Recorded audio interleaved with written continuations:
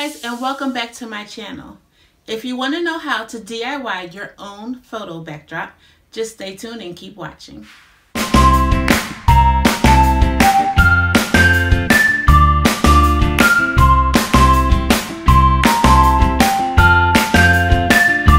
So in today's video, I'm going to show you how I DIY my YouTube videos or my photo shoots that I have in my home.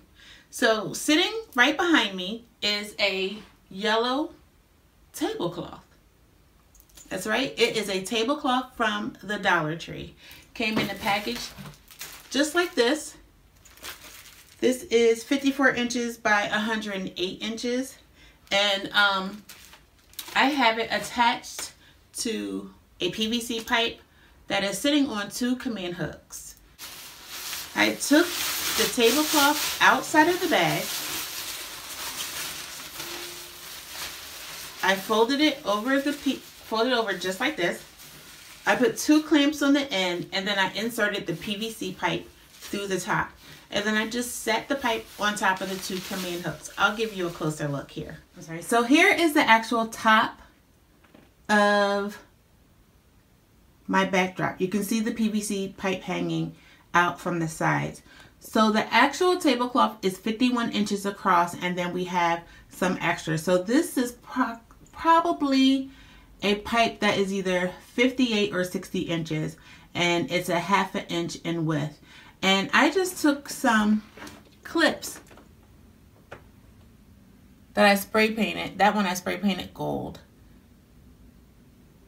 to hold it. And the other one is actually spray painted teal to hold it up and it is so easy to come off. It's literally just resting on a command hook. And then all I have to do is just set it back and voila. So that's way number one that you can do your own DIY backdrop. Now, I just showed you a white one and that white one is pretty see-through. It's kind of thin. So depending on the color of your original wall, you may want to double up on the tablecloth. This one here is yellow, which was pretty thick, and so that you really can't see it. Now, the wall behind me, my actual wall is a latte color. As you can see, and so it and so that wall right there is is pretty good. But if I use the white tablecloth, I would actually double the tablecloths and then I would hang it up.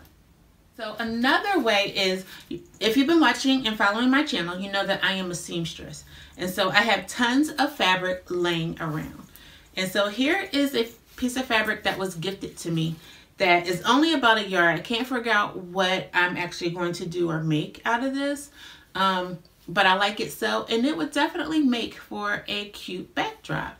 So the only thing I'm going to do with this is, and I'll actually put this up a little later, I am going to stick two, no, I'm just going to stick four pins on four of the corners so that I'll be able to stretch out the fabric because it is knit. I'm going to stick this into the wall and have it hanging behind me. And then you'll be able to see what that looks like. And here's the backdrop that um, I just showed you the shimmery silver fabric. And here it is pinned up on the wall and this is how it looks. This is the painter's tape that I was talking about. It's almost like a paper tape um, and it doesn't really have a good stick like a scotch tape or a masking tape or even duct tape. Do not duct tape your walls. It will snatch the paint off of your walls. But these are very light, but it doesn't hold for very long.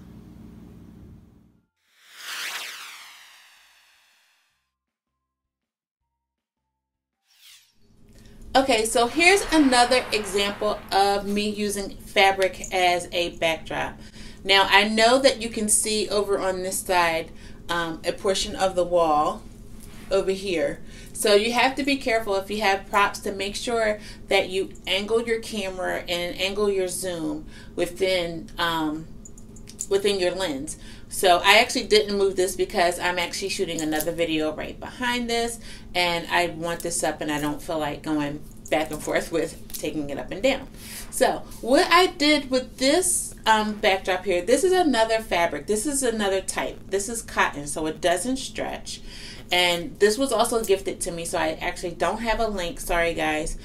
to where I got this fabric from. Okay, so what I did was I just ironed out the fabric, tried to get out as many wrinkles as I could, and then I just took the fabric and I just folded it over the PVC pipe. It's long enough that it'll actually double on its own and hang to the floor. So I didn't have any need for clips or stick pins or tape. It just hung right up there on the on the command hooks. Now, what I do want to advise you is that if you're using command hooks as I did, that you put your command hooks up at least a day before you use them. Reason being is that you want that glue to settle in. Now, it doesn't take off your, your paint. It actually comes off very easily.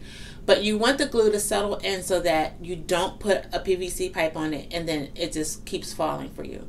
So I actually put mine up a day before I actually was going to use it. And then I put up um, the first one that you saw, which was the table, the plastic tablecloth, and I had that up for a few days, and then I moved on to the fabric here. Now, here's another suggestion: you may have a shower curtain that you like and you want to use as a backdrop. The shower curtains actually come with rings, and the PVC pipe will actually fit over the rings. You just have to make sure that the rings can either turn or clear your wall so that it's not um, sticking out or giving you um, any or giving you a hard time. So that's also another option for you. So you can use your actual wall if you have a nice painting, um, a nice painted wall. You can actually use your wall. You can use a tablecloth from the Dollar Tree, which is only a dollar. The command hooks are two dollars. I will look up the PVC pipe and I will leave a link to where you can purchase your PVC pipe from Lowe's, and um, as well as as well as the painter's tape that you can get if you're using something light. Um, and that doesn't take off the paint on your walls either. So you have fabric, tablecloth, your actual wall, or you can use a shower curtain. So those are four different things that you can use to do your own DIY background. And if you want a fifth one, you can actually purchase regular pricing background. Here's an example of one of the previous backgrounds that I used in a past video.